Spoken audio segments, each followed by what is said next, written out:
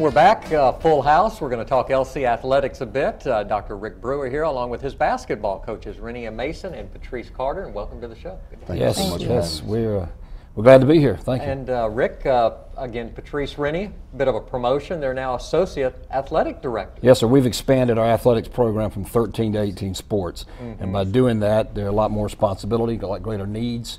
Uh, Patrece is going to help us on the operations side to make right. sure games run smoothly and handle a lot of other details involving all our, our uh, operations of our uh, games on campus.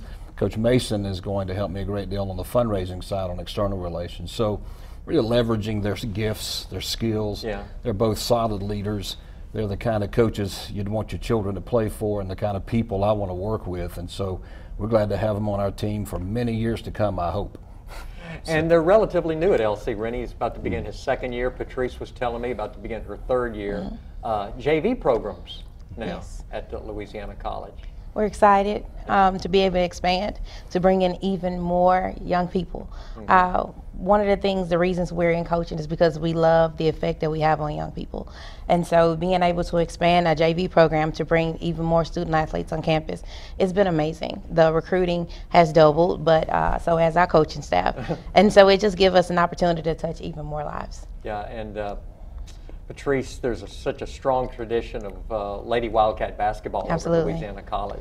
Absolutely, and uh, we look to continue that. One yeah. of the things that I tell every young lady that I recruit is that, you know, if you're not going to do it to be great, why do it? Mm-hmm. And so we're constantly building going towards that goal. Um, the, the young ladies I've recruited this year, um, the strong, strong base that I have coming back next year, we're looking to make some noise. And you know something about Central Louisiana basketball. You yes, played sir. at Winnfield, so did. this is kind of your area. Yes, sir. This is home for me. Uh, I've enjoyed the support. I've enjoyed uh, just being able to have my family, my friends, mm-hmm. and those I've met so many people who remembered me playing at Louisiana College, mm-hmm. and they've become fans as well. So we're just trying to grow our fan base and just let everyone know that uh, Louisiana College is no longer just a little diamond in the rough.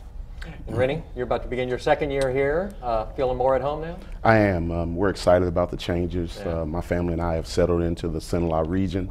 Um, it's just been amazing what has happened at Louisiana College in a very short time for us in our tenure. Mm-hmm. Um, the extra um, responsibilities that are being given, we don't look at it like that. We look at it as a progression um, to do whatever we have to do to make Louisiana College a fine of institution as, as it can be. And uh, you were telling me just a second ago before we came on air, you you pretty optimistic. I am. I am. I think um, my coaching staff um, and I have done a, a good job of recruiting. Um, mm-hmm. You never know until you actually hit the hardwood, but we're excited about what's moving forward, not only for our, our players as um, representing Louisiana College on the floor, but what they're going to do in the community also. I think we have a outstanding opportunity to impact the community of Pineville and Alexandria right. with the type of young men we're bringing in. Rick was telling us just a second ago you're going to be involved in fundraising, how important that is for a college. I think it's um, it's essential for any survival of mm-hmm. any program, um, a college with the way that things are going in the state of Louisiana now, um, financial with schools, it's important that we reach out to the community to make them be a part of what we do.